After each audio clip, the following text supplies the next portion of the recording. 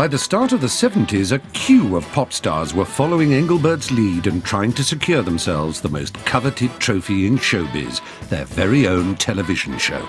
These name shows were the idea of bandleader Billy Cotton's TV executive son. Variety theatres, if you like, had, al- had always worked on the basis of having star. It was the star system, you know. Uh, and television did uh, uh, uh, kind of follow that with uh, name shows. People like Val Doonican, uh, then Cilla Black, Kathy Kirby, and um, Tom Jones, and that all those sort of shows. And there, there was a place in entertainment for those.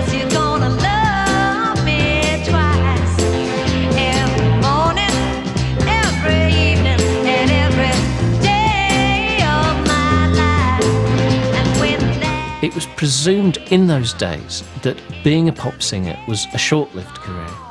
It was assumed as being uh, slightly childish.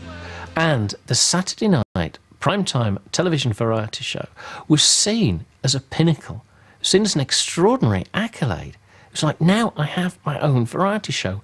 Look, I've made it. Of course, mine was quite original because th- there was a lot of, you know, it was uh, a Greek European, I may say, who would come, and this was uh, also the style of songs that I was singing.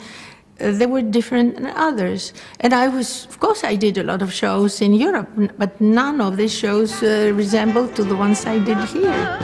Sister, what you calling? That's a timely idea. Something sweet and dilla would be good to my ear. Everybody must agree that dancing is charm. When you have that certain one you love in your arms,